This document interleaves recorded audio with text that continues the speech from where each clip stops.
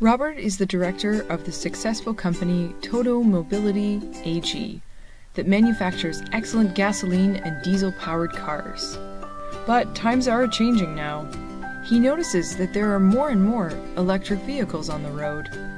Robert does not understand what everyone sees in electric driving, as he himself was raised as a petrol head by his father, a real car pioneer and founder of the company. But what to do? Robert's business is going well.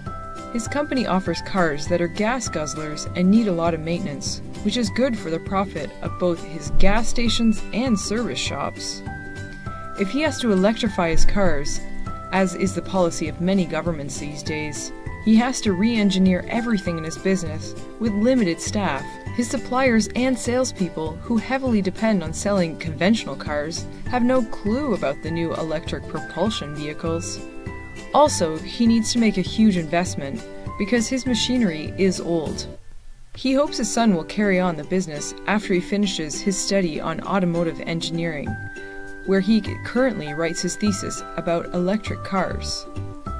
According to his son, electrification, automation, sustainability, and connectivity will be the future of mobility in the 21st century. So now is the time. He alone has to make the decision whether or not to invest in future sustainable technologies, which his daughter, who is a policymaker, claims is unavoidable.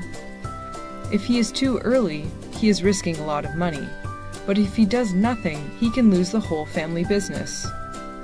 Yes, I will take the challenge and do it for the sake of my children.